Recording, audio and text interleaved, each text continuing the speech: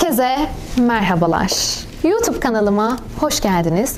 Yeni bir videoyla karşınızdayım. Bu arada tanımayanlar için ben Raşel Aras Kiresepi. Bugün uzun süredir aklımda olan bir videoyu çekiyorum. Aslında bu videoyu Instagram için çekmek istiyordum. Ama aa belki ileride onu da çekeriz. Bu videoya şöyle bir giriş yapmak istiyorum.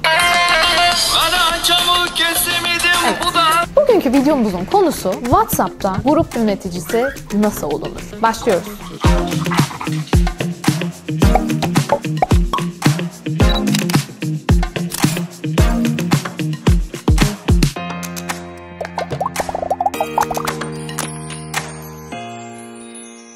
Evet, yanlış duymadınız. Bugün WhatsApp'la ilgili konuşacağız. Hepimizin yani benim en çok kullandığım uygulamalardan bir tanesi. Konuşmak için, iletişim kurmak için bütün işlerimi de WhatsApp üzerinden hallediyorum. Eminim ki sizin de en çok kullandığınız uygulamalardan bir tanesidir. Ve bugün aslında ele alacağımız konu WhatsApp'ta yazılı olmayan görgü kurallarından bahsedeceğiz. Eşinize, dostunuza, eski sevgilinize ve bütün aile fertlerinize yollayarak daha huzurlu günler geçirebilirsiniz. İlk maddeden başlıyorum. Lütfen WhatsApp'ta mesaj attığınız kişi eğer mesajınıza geri dönmüyorsa üst üste 3 defa aramayın.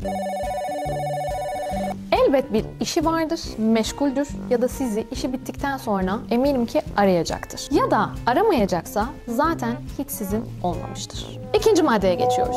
Toplu veya zincir mesajları atarken karşınızdaki insanların bu mesajlarla ne kadar ilgilenip ilgilenmediğini birkaç kez lütfen düşünün. Bir kere düşünmeyin, birkaç kez düşünün. Bu mesajı 10 kişiye atmazsanız evde kalırsınız.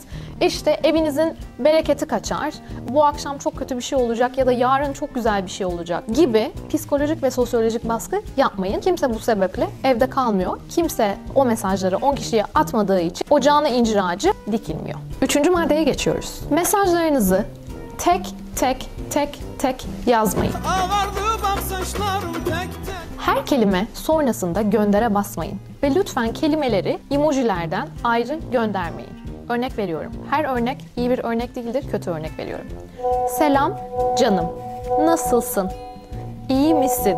Sana bir şey soracaktım. Normal hayatta eğer böyle konuşmuyorsanız lütfen her kelimeyi tek tek tek tek yollamayın. Buradan 3 tane yakın arkadaşıma selam olsun. Baş harfi bir tanesinin Cemile, diğerinin Ceyda, bir diğerinin de Efes. Hepsi mesajları her zaman böyle atıyorlar yani. O yüzden bunlara da sevgilerimi ve saygılarımı iletiyorum. Bir diğer maddeye geçiyoruz. Kurulan WhatsApp gruplarında bütün mesajları okuyup cevap vermemezlik yapmayın konuyla ilgilenmiyorsanız bile okuduğunuzu ve anladığınızı belirten bir ses çıkartın. Bir emoji koyun. Evet okudum ama daha sonra yazacağım. Müsait değilim, ilgilenmiyorum gibi e, örnekler çoğaltılabilir. Bir diğer maddeye geçiyoruz. Size diğer WhatsApp gruplarınızdan iletilen her fotoğrafı ve her linki okuyup anlamadan diğer WhatsApp gruplarınıza, özellikle de aile WhatsApp gruplarınıza kesinlikle iletmeyin. Yazılı kanıt bırakmayın ve açıp içeriğini okumadığınız, izlemediğiniz videoların linklerini aile gruplarınıza atmayın. Ve aile gruplarında sadece gündemden haberler paylaşın. Magazinden bahsetmiyorum tabii ki. Ana haber bülteninden kesitler olabilir, ara haberler olabilir, sağlıkla ilgili e, gelişmeler olabilir, teknolojik gelişmeler olabilir ama başka konulara girmeyin. Bir diğer önemli maddeye geçmek istiyorum. WhatsApp statünüzü şarkı sözleriyle veya imalı sözlerle ya da kamyon arkası sözleriyle güncellemeyin. İnanın bunları yapmamak size yol su elektrik olarak dönecektir. Çünkü siz bunları yaptıkça o gizemli havadan oldukça uzaklaşıyorsunuz ve gayri resmi bir imaja sahip oluyorsunuz. Güzel bir maddeye geçiyorum şu anda. Eğer biri size sadece tek bir emoji yolluyorsa konuşmayı muhtemelen bitirmeye çalışıyor demektir. Sadece tek bir emojiyi mesaj olarak aldıysanız lütfen cevap vermeyin ve daha fazla uzatmayın. Hele hele şöyle gülen suratlardan bir emoji aldıysanız, şunu aldıysanız o konuşmadan gerçekten bir hayır gelmez. Daha fazla cevap verip uzatmayın. Bir diğer kısa maddeden bahsetmek istiyorum. Kendisi küçücük ama etkisi gerçekten çok büyük bir emojiden bahsediyorum. Şu hani gözlerini kapatan maymun var ya onu Flört etmediğiniz kimseye yollamayın. Çünkü bu tatlı, sempatik, utangaç, samimi, sevgi dolu maymuncuk çok daha farklı şeyler ifade edebilir karşınızdaki insan için.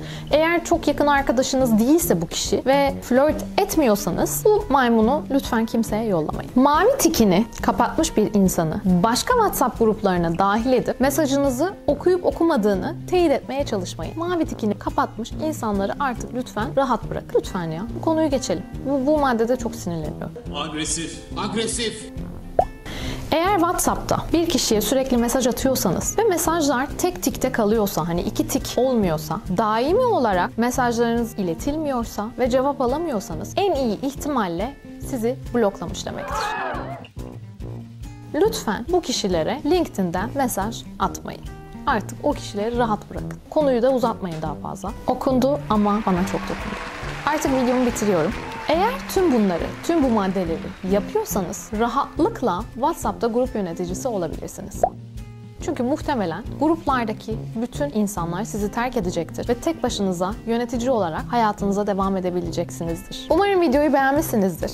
Bu tarz deli saçması videoların devamını çekmemi isterseniz lütfen yorum bırakmayı ve videoyu beğenmeyi, bir de kanalıma abone olmayı unutmayın. Sevdiklerinize de linkini göndermeyi unutmayın. Gerçekten hayatınız kolaylaşacaktır. Hepinizi çok öpüyorum. Bir sonraki videoda görüşmeyi diliyorum. Hoşçakalın.